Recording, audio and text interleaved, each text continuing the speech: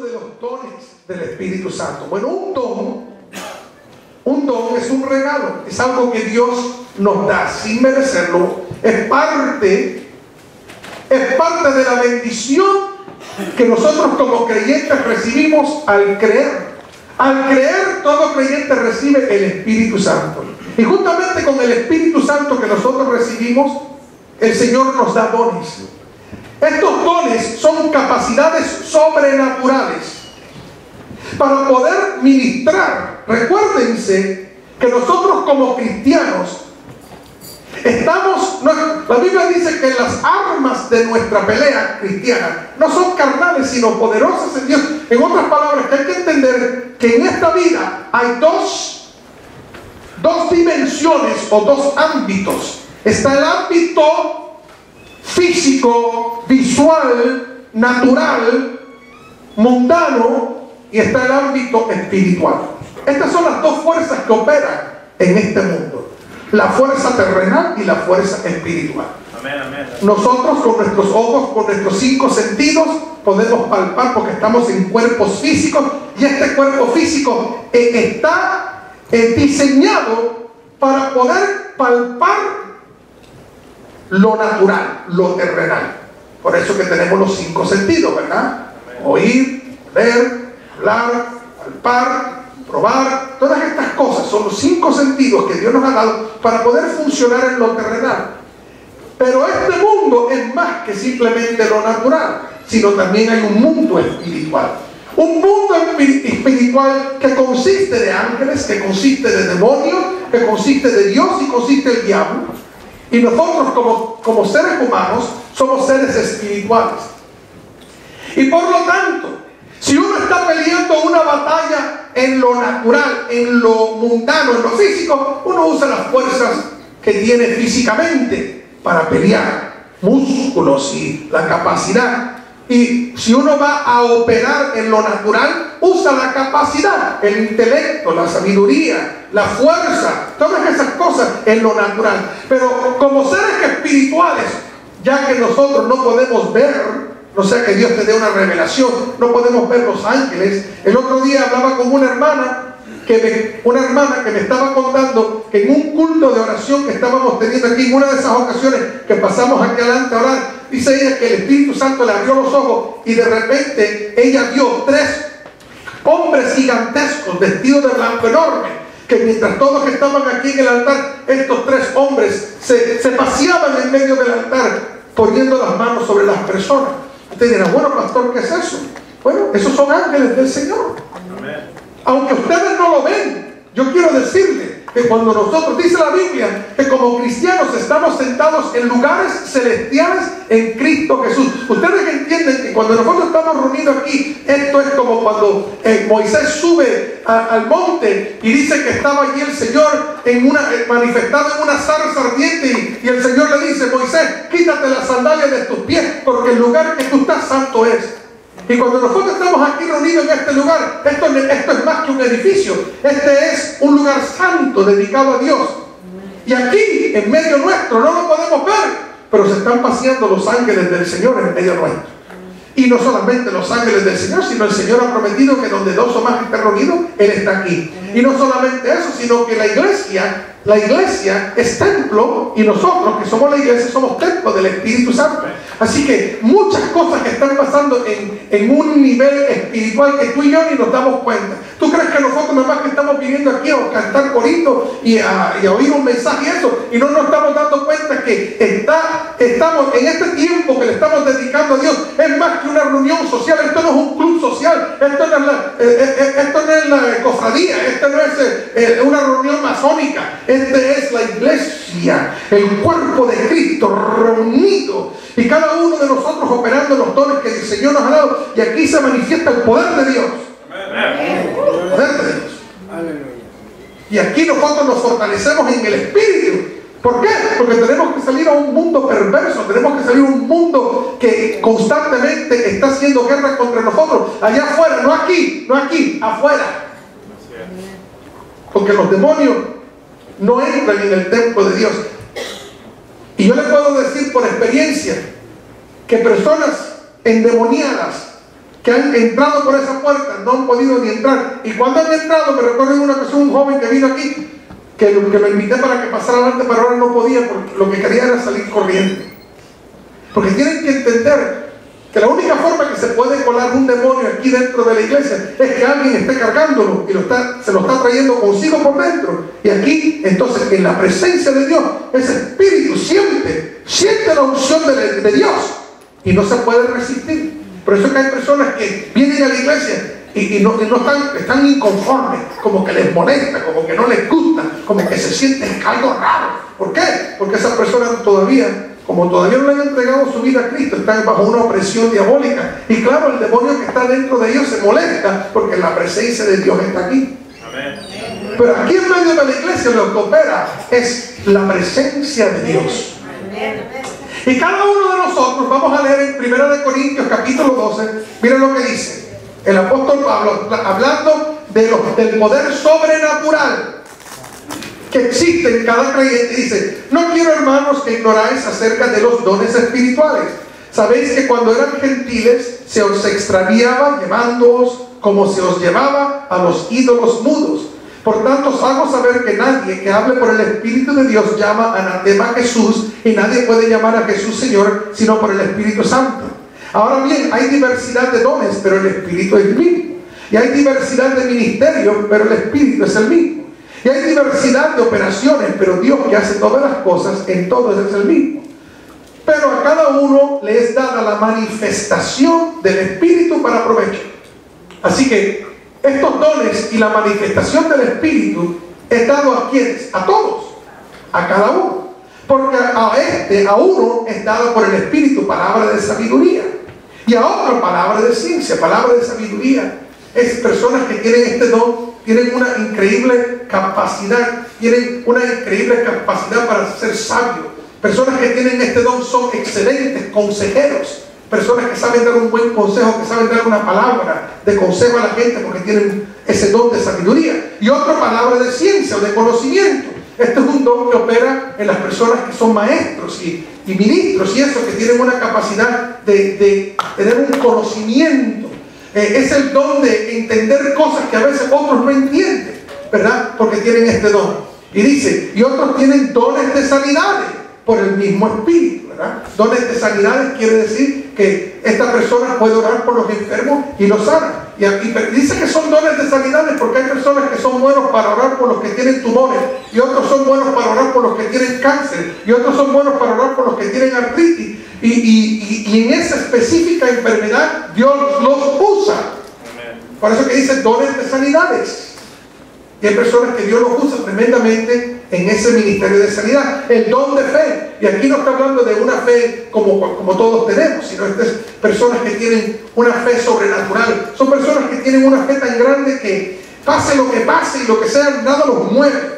Y, y, la persona que tiene este don, tú ves que pasan tantas cosas y siempre se mantiene firme, siempre se mantiene adelante, cree grandes cosas, tiene una visión tremenda. También está el don de milagros. Personas que Dios le ha dado esa capacidad de resucitar muertos. Y yo lo he visto, yo, yo me recuerdo un pastor amigo mío ah, hace años atrás, que un niño cayó en la piscina y, lo levantaron muerto y él puso la mano sobre él, el niño resucitó. Y eso sin darle ninguna ayuda de, de, aliento ni de nada. Y hay personas que tienen tremendo ese don de milagros. Y otros dicen la palabra de Dios, el don de profecía o el don de traer mensajes ungidos por Dios, el don de, de, predecir cosas que están por delante, de traer una palabra de parte de Dios a las personas. Otros que tienen el discernimiento de espíritus. Y este don que tiene el discernimiento de espíritu, la persona que tiene este don, tiene la capacidad de distinguir el espíritu.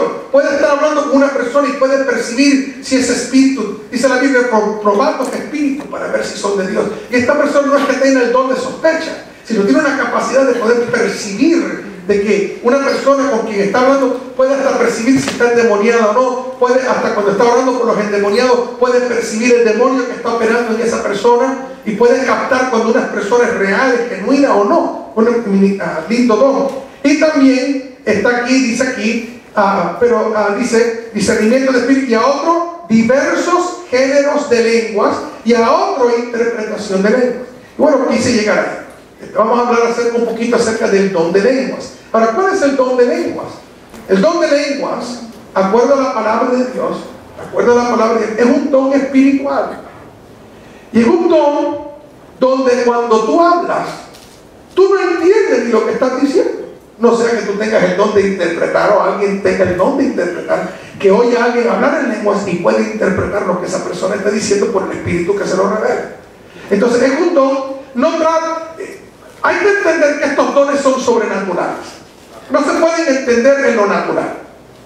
Y una persona que tiene el don de lenguas, por ejemplo, yo me recuerdo cuando yo recibí el don de lenguas, yo estaba en mi casa y yo estaba orando y yo se lo pedí a Dios. Yo literalmente le dije, Señor, dame el don, yo quiero hablar en lenguas.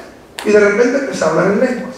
A mí nadie me puso la mano encima, a mí nadie me dijo, repite conmigo, jíquera, jíquera, nada de eso. Simplemente Dios me lo dio. Aquí en nuestra iglesia, nosotros somos abiertos a los dones del Espíritu, pero no queremos que nada ocurra que no sea dirigido por el Espíritu Santo. En otras palabras, hay iglesias donde la gente hasta los pasan adelante y dicen, bueno, repitan conmigo esta palabra y, como que ah, eh, eh, como que casi le enseñan a la gente a hablar en lenguas. Pero entonces se nos juntó, eso es algo que tú aprendiste, es como hablar, aprender a hablar inglés, hablar español, hablar algún lenguaje. Pero el don de lenguas es algo sobrenatural. Es algo que tú le puedes pedir a Dios y todos los cristianos deben pedirle a Dios los dones del Espíritu. Porque los dones del Espíritu no es para que tú te levantes el cuello y digas, ah, mira, yo tengo este don y tengo el otro. Sino que a través de estos dones, nosotros edificamos el cuerpo de Cristo. Pero lo interesante del don de lenguas es que de todos los dones, es el don que te edifica a ti. Que te edifica a ti. Dice que el don de lenguas te edifica a ti mismo. Y por lo tanto, cuando uno tiene ese don de lenguas, que uno está hablando en un lenguaje que uno no entiende, y tú piensas que tú, al principio cuando yo empecé a hablar en lengua, yo pensaba que estaba loco. Y decía, bueno, ¿qué es esto que está saliendo de mi boca? Porque yo no entiendo lo que estoy hablando. Pero estas palabras salían de mi boca y fluían de mi boca, y yo las estaba hablando, y lo que yo notaba era que mientras más hablaba en lengua, yo me edificaba. Yo sentía la presencia de Dios. Era algo que a mí personalmente me edificaba. Y no solamente me edificaba, sino que cuando estaba eh, orando en lenguas, sentía ah, una unción tremenda sobre mi vida para ministrar y para ministrarle a otros. Así que es un lindo don. Ahora, ¿cuándo vemos este don? ¿Cuándo es que vemos este don por primera vez en la Biblia? Bueno, abran sus Biblias a Hechos capítulo 2. Hechos capítulo 2.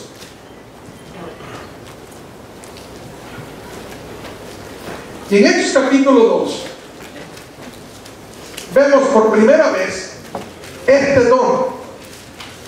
Quiero decirles que el don de lenguas, el don de lenguas, es un don específico para la iglesia de Dios. ¿Por qué? Porque si usted estudia el Antiguo Testamento, hasta el día de Pentecostés, que vamos a verlo ahora, nadie había hablado de lengua. En ninguna parte de la Biblia nadie había hablado en lengua hasta el día de Pentecostés. Ni el mismo Jesús, ni el mismo Juan el Bautista, ni ninguno de los discípulos. Sino que este don en particular, Dios lo usó en varias ocasiones en el libro de Hechos para confirmar que ciertos grupos habían recibido el don del Espíritu Santo. Uno, y no vamos a entrar en eso, es un estudio largo. Pero vemos que cuando el Espíritu Santo se derrama sobre los gentiles en casa de Cornelio, hablaron en lengua. Vemos que cuando el Espíritu Santo viene a la vida de los discípulos de Juan en Éfeso, hablaron en lengua. Y ahora vamos a ver sobre los judíos en el día de Pentecostés, que cuando el Espíritu Santo es derramado, hablaron en lengua. En otras palabras, que las lenguas eran una señal en aquel tiempo a estos grupos específicos para mostrar que el Espíritu Santo había sido derramado sobre ellos. Es interesante notar que en ninguna otra parte de la Biblia, aún a través de todo el libro de Hechos, no vemos, por ejemplo, cuando, cuando Pedro le predica a los tres mil, no menciona que ninguno de ellos hablaron en lengua. Cuando Pablo le predica a los cinco mil, no, no dice que ninguno habló en lenguas. Y muchas veces en el Nuevo Testamento vemos personas que se convierten y no hablan en lenguas. Pero en, estos, en estas ocasiones específicas, Dios permite que ocurra esta señal para comprobar de que estas personas habían recibido el Espíritu Santo. Y noten que siempre las lenguas que en estos tres grupos específicos eh, ocurre fue en el momento de conversión. Al convertirse, tienen esta manifestación. Ahora miren lo que dice el libro de Hechos, capítulo 2. Cuando llegó el día de Pentecostés, y estaban todos unánimes juntos y ahí estaban orando, y de repente vino del cielo un estruendo como de un viento recio que soplaba, el cual llenó toda la casa donde estaban sentados y se les aparecieron lenguas repartidas como de fuego, asentándose sobre cada uno de ellos. Y fueron todos llenos del Espíritu Santo. Esta fue la primera vez que se derrama el Espíritu Santo sobre la iglesia. Y comenzaron a hablar en otras lenguas, según el Espíritu les daba que hablasen. Así que aquí tenemos la primera ocasión registrada en la Biblia, donde se habló en lenguas. Ahora, ellos no entendían lo que estaban hablando. Ellos no sabían lo que estaban hablando. Pero es interesante que en aquel entonces, para el día de Pentecostés, habían venido personas de todas partes del mundo a Jerusalén para celebrar el día de Pentecostés, de diferentes países. Y cuando estos en el aposento alto empezaron a hablar en otras lenguas, ellos que venían de otros países, se maravillaban porque podían oír esta gente alabando a Dios en el lenguaje de ellos, que ellos ni aún conocían. Porque tenemos que entender que esto es una manifestación del Espíritu Santo. Ahora, Pablo cuando habla de las lenguas, habla y dice que es un lenguaje, es un lenguaje que uno no entiende. Vamos a ir a Romanos. Vamos a ir a Romanos capítulo 8. Romanos capítulo 8. Abra sus Biblias.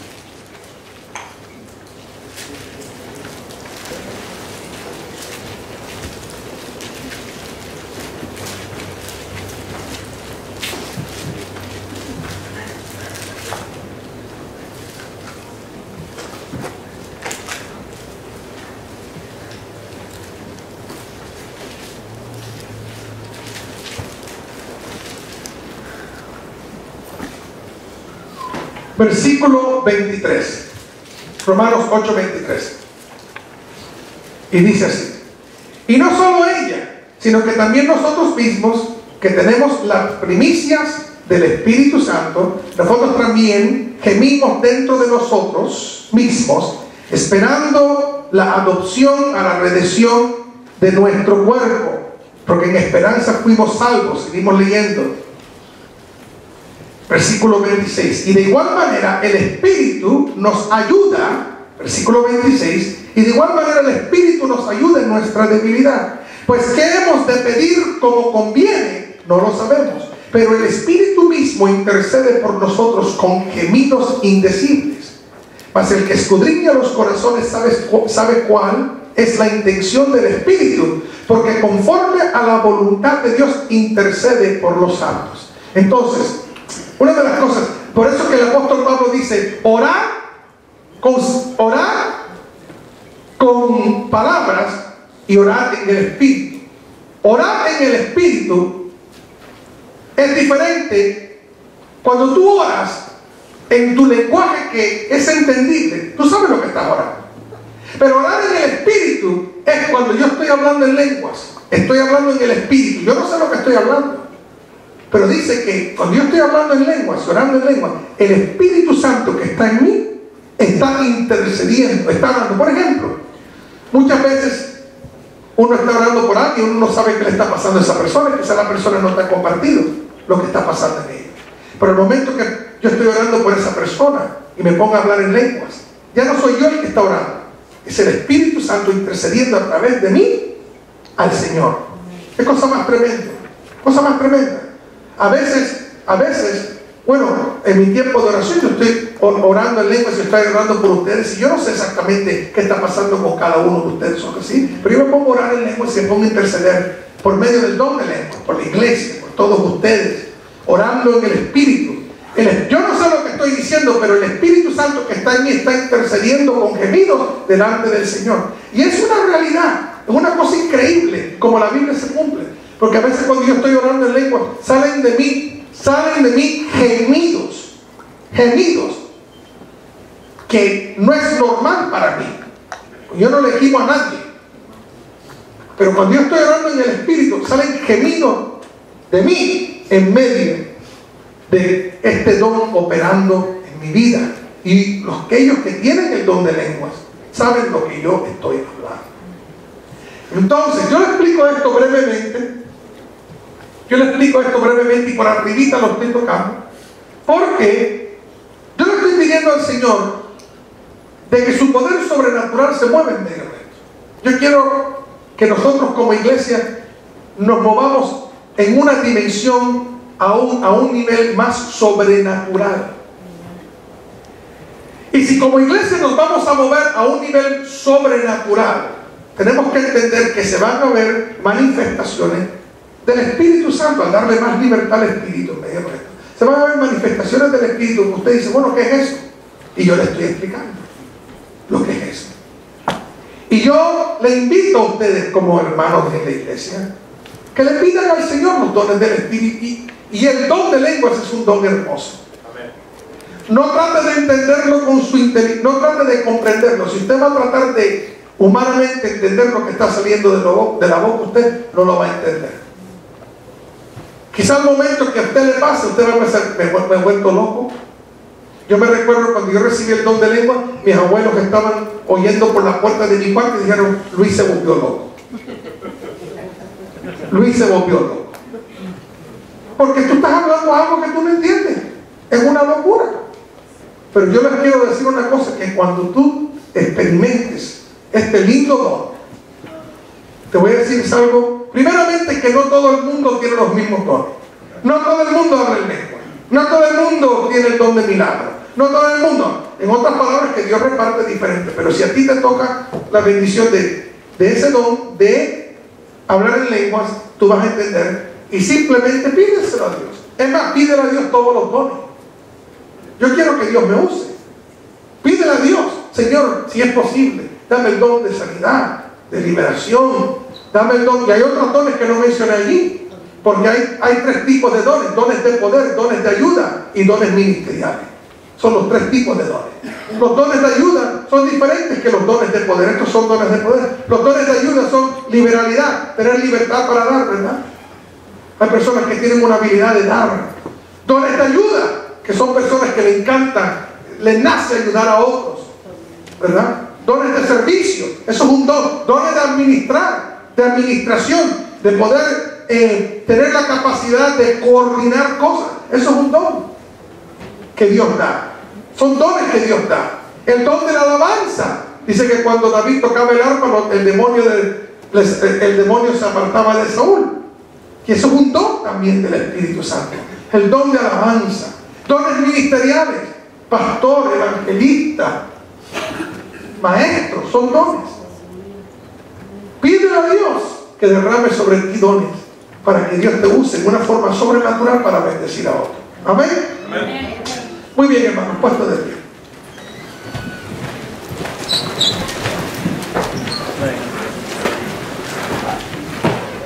Yo me recuerdo recién convertido. Ahora el próximo domingo cumplo 38 años de bautizarme. Yo me bauticé un domingo de resurrección hace 38 años atrás. Voy a cumplir 38 años en el Señor. Y yo me recuerdo que yo agresivamente le pedí a Dios, dame tus dones, Señor. Yo quiero que tú me uses. Tenemos que movernos de vivir en lo natural y empezar a vivir en lo sobrenatural. Andar en el Espíritu. Buscar las cosas de arriba buscar el poder de Dios. Jesús se lo dijo a sus discípulos, no se vayan de Jerusalén hasta que sean investidos de poder. Cuando el Espíritu Santo venga sobre vosotros, recibiréis poder. Poder. Poder porque en este mundo espiritual en que vivimos yo necesito poder. Yo necesito poder para poder lidiar con el diablo, con el mundo y con esta carne débil. Yo necesito el poder de Dios. Amén. Muy bien. Fue una explicación muy para arribita, pero nada más que para que tengan una idea y no se asusten, ¿verdad? Que cuando estemos llorando y se esté moviendo la gloria de Dios, y digan, ¿qué está pasando aquí? Pues nada más que para que ustedes puedan entender. Vamos a orar, vamos a despedirnos en esta noche.